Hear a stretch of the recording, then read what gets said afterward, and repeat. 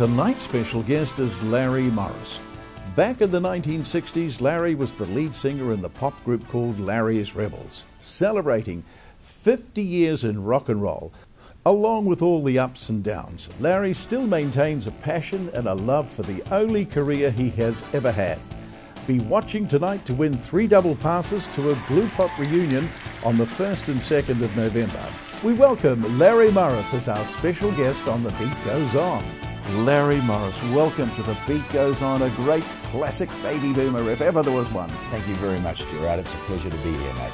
Great generation, wasn't it? The baby boomer generation. We have, uh, well, we're both 66, aren't we? I found that, that out before we started talking. Yeah, yeah. August 4th, uh, 1947, I was born, yeah. Well, I was July the 3rd, so I was one month old before Larry Morris entered the world. Yeah, yeah. So you're a Cancer. Yeah. I'm a Leo, yeah. Yeah, look at that hair, eh? How did you get all that hair, Larry? It's so, so Mum. unfair. Mum, yeah, yeah. Well, you'd think that. I'd, it's a raffle, though, isn't it? All that. um, you know, um, I'm just blessed with long hair and l- lucky that I can still grow it.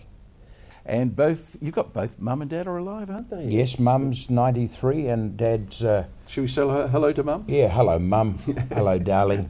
Uh, she traded up. Dad's uh, seven years younger than Mum. No flies on my mother. and uh, no, and they're both uh, in wonderful health. Mum's got a degenerative spine, sadly, but Dad looks after her. He's a real a knight in shining armour, and uh, I just love them, adore them, and I make a point of getting down there to see them once a month. Oh, where do they both live? Pataru. But uh, I was going to go down there and do my bit and, and sort of move in with them, but Dad wouldn't have a bar of it. He said, I can look after your mother quite well for another few years yet, son.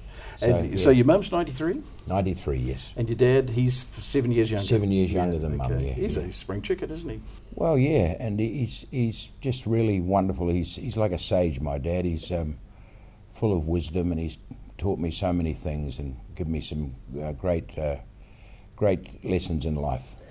Now, were you able to listen to Dad around about the age of 16, 17, 18, 19 when you became a rebel, a Larry's rebel? Um, no, uh, I was on the road with the rebels. We we, we were in, on the road. I never saw much of mum and dad from 16 on, um, and we were over in Australia uh, quite early in our careers, and uh, you know, so no, I wasn't sort of in the around mum and dad uh, at that age, and then I got married uh, at 18, and um, so moved into my first apartment when we did come off the road with Sue and um, our daughter Kim. Yeah. You should have taken your dad along on the on the tour to look after you, Larry, to make sure you weren't doing all those naughty things. No, Dad was too busy running his shop, Massey Road, at, uh, at 258 Massey Road, Mangere. They had a wonderful superette there, and the Mad Butcher, his first butcher shop was just down the road. Wow. John Kerwin was working for him. And uh, I saw Peter the other day. I, I did a guest spot at his. Peter Leitch, what a wonderful guy. Oh, wonderful human being. He's done so much for people, and he did so much for us when I took 31 entertainers to East Timor years ago. Uh, right at the last minute, we didn't have the, uh, um, what do you call them, the um, shots for fever and malaria and stuff. Uh, it was one of those things the army hadn't told us we needed, and Peter stepped up and paid the bill, more, like five grand. Just didn't hesitate. Um, just a wonderful human being. So I was at the lounge uh, last week at the game of the Panthers, and unfortunately the Warriors lost. But uh, I sang a few songs for Peter, and uh, I do anything for Peter. He's a wonderful man. Well, let's go back to the beginning. You were born in Auckland, and whereabouts? Uh, I was born in uh, 120 John Street, and uh, then we moved up to 141 later in life, um, and uh, right opposite Vermont Street, and uh, went to Richmond Road Primary School. Um, very proud of that, and uh, it was a wonderful school.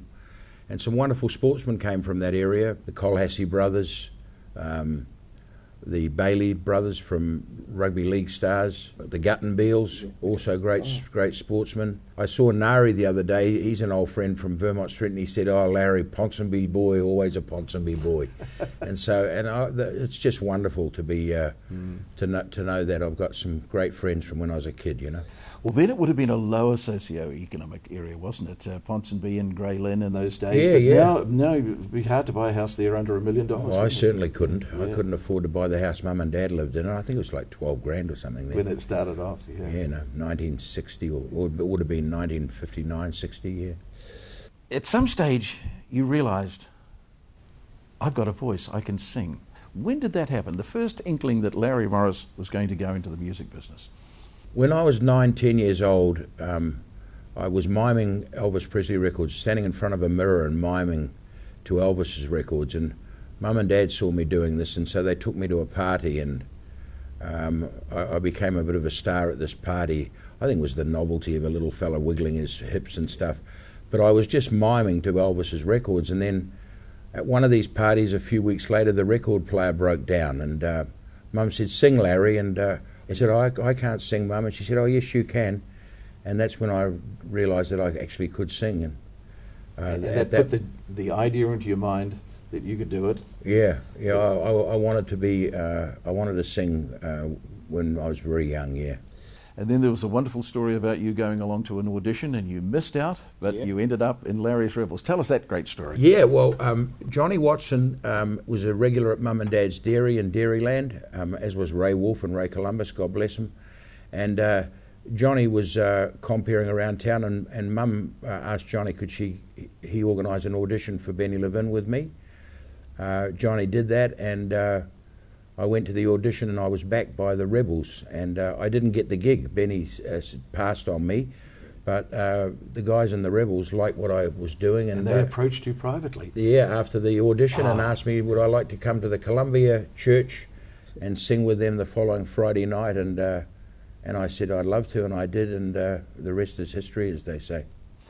And you discovered that wonderful effect the girls flocked to see Larry and the Rebels. And uh, wow, yeah, I had never had girls uh, pay me as much attention as when I was singing in the band, and I thought, oh, I, I want to do this for a job.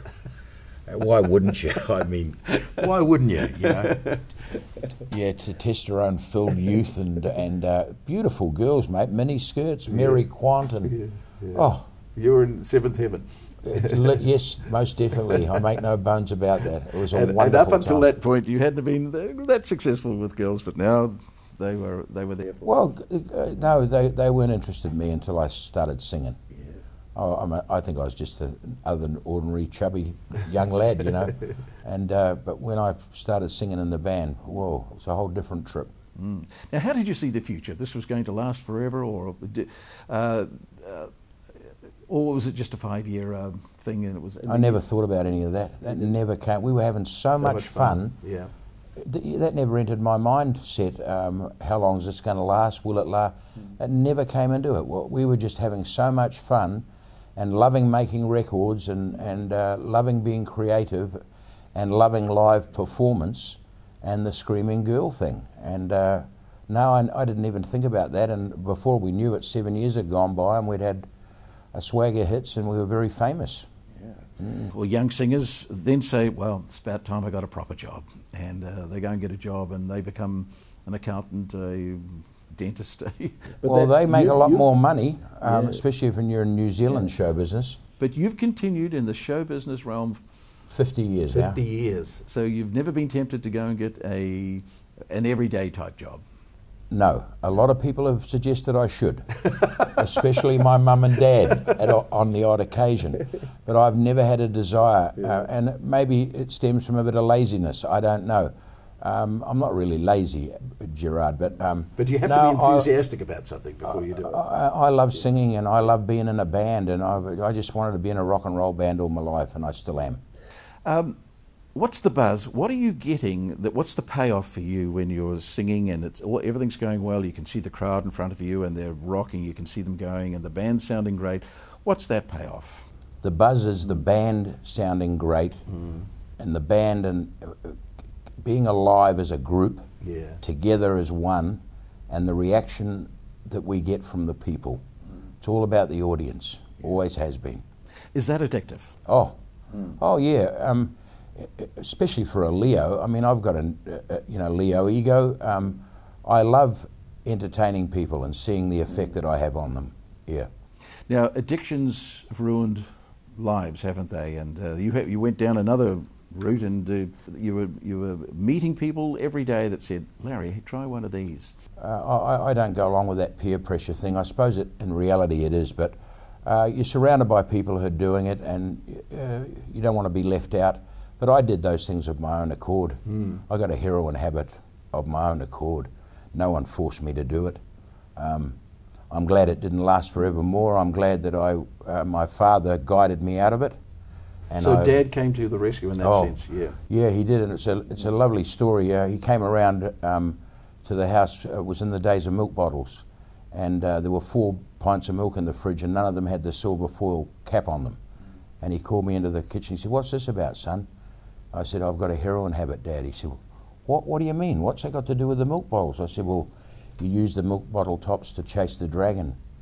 And he said, "Well, what do you want to do about this?" I said, "I, I want to get off. I need help." So he helped me. I've always wondered what is it about heroin that what, what happens actually when the It's the most wonderful. it is a wonderful feeling. Yeah, That's the and I don't want to be promoting this on television. Um, I, I, I say to kids, don't don't go near it. It's, it the, the, the, the catch is it was so bloody good. you Yes, that's- stay with, in the in the zone with it, and uh, um, I mean, but I, but I don't want to say that uh, because I hate the idea of youngsters getting into it. It's not a, it's it's debilitating. It's not good for you. It will kill you eventually, and I don't recommend it to anybody.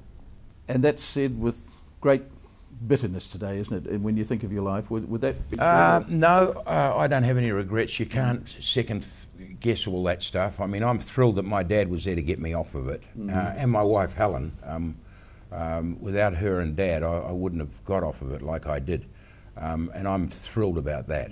But um, uh, I don't have any regrets. You know, we we do things, we make mistakes, we bounce back from them. Now, today you're a healthy looking man, aren't you? So obviously it hasn't done you any harm physically. So. well, I'm as, the straightest I've ever been in my life. Um, now, I'm, I mean, I'm totally straight. I don't, I don't do, uh, I don't even smoke pot anymore. I haven't had a s- smoke a pot for nearly nine months. Um, uh, I'm, I don't do dairy products anymore. Um, I don't have to take cholesterol pills anymore because I don't do dairy. I don't have a blood pressure problem because I don't eat salt anymore.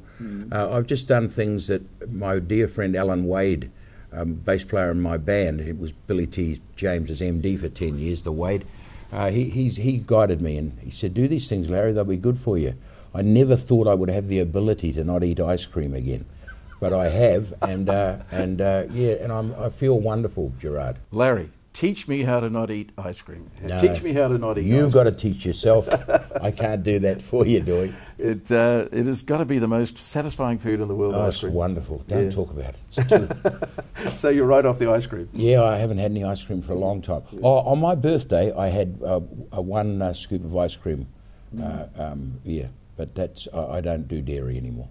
Now you're busy today, Larry. Uh, Extremely busy. Got Wonderful, a lot, I've got lots on. I've um, I'm working with the um, at the power station on uh, November first and second, Friday and Saturday night for uh, Brent Eccles and uh, Paul Walker. Uh, it's a glue pot reunion show. They had one before, great success. I was away then and I couldn't do it, but I'm pleased to say I'm doing this one with Hammond Gamble.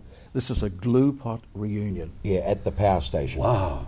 uh, Neil Edwards, Hammond Gamble, Hello Sailor Big Band, um, um, Mahia um, Blackmore, Truda Chadwick. Um, it'll be a magnificent, magnificent show.